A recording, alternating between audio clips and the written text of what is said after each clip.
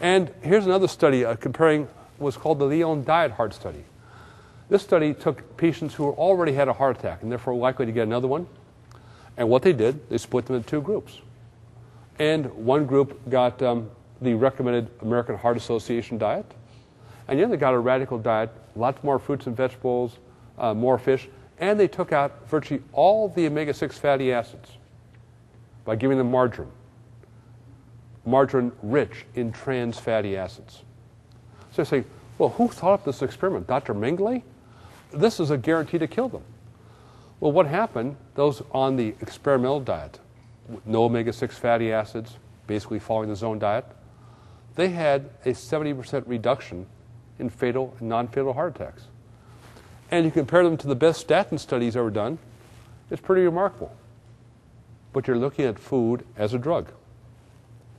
And the only thing that changed in these patients was a decrease in the, ratio, in the amount of silent inflammation.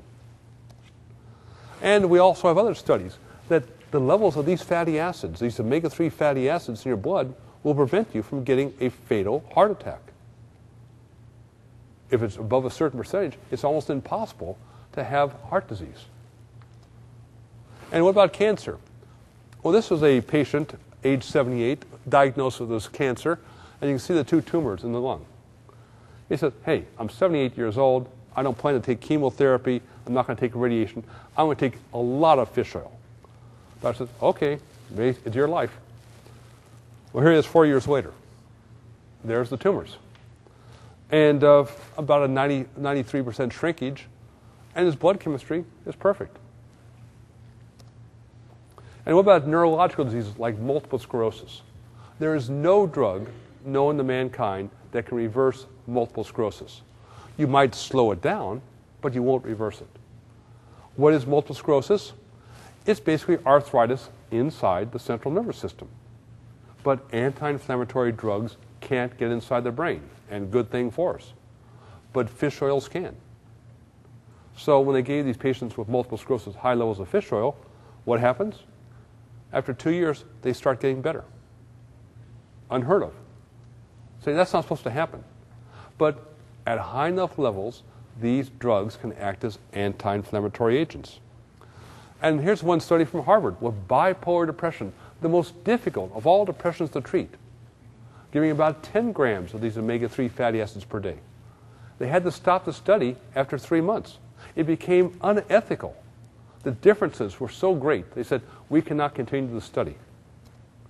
This was one study we published a, few years ago with children with ADHD has become epidemic.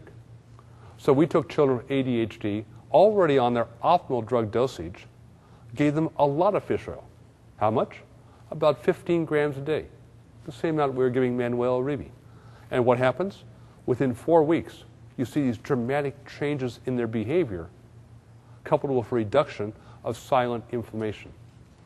The day they stop taking the fish oil, the silent inflammation goes up and their behavior benefits all deteriorate. But probably the most interesting case was occurred about oh about three years ago. You might remember the Sago mine disaster on January 2006 when 13 miners went into a mine shaft and there was an explosion and they're trapped for 41 hours in a carbon monoxide atmosphere. When they finally broke through, 12 of the 13 miners were dead and the one they pulled out was almost dead in the rifle. There's this picture there, Randy McCloy.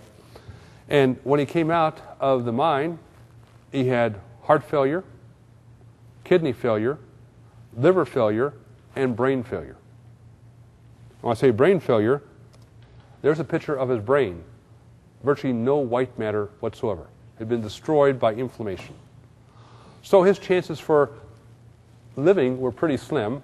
And if he did live, he'd probably end up being a vegetable the rest of his life. Now, his neurosurgeon called me up and said, I think I should give him some omega 3 fatty acids. How much should I give him? Well, I said, I think probably about 15 grams a day. He said, Whoa, whoa, whoa, he's going to bleed to death. I said, He's not going to bleed to death. He says, Okay. So we airshipped out some of the omega 3 fatty acids. He started feeding him in the feeding tube. And two months later, he came out of his coma. And two months after that, he went home. And when he went home, his heart was normal, His kidney was normal, his liver was normal, and he gave a press conference worthy of any politician. And so, what does the American medical uh, uh, press say about this? It's a medical miracle. That's the best they can say. It's a miracle. They say it was no miracle. It was an aggressive use of nutrition to reduce inflammation in every organ in his body. If you do that, the body can basically heal itself. If you don't, it's going to end up basically not functioning very well. And there's uh, Randy, myself, and uh, Julian Bailes, who's one of the top neurosurgeons in the country. And um, there's Randy's wife, who was pregnant at the time. He's since now given rise to a, another child, so he has two kids, two healthy kids. So everything seems to be working pretty well. The clinical benefits of high dose fish oil are incredibly robust. This is not, you know, vitamin C where there's no data. This, it, this is hard data, whether it be heart disease, cancer, depression, attention deficit disorder, multiple sclerosis, Alzheimer's, brain trauma, chronic pain, osteoporosis, fertility, and unfortunately back there, fat loss, like in Manuel Uribe. The data saying, how can fish oil do all these things? Because if you give enough of it, it reduces inflammation. And that's why it's as close to a miracle drug as I'll see in my lifetime.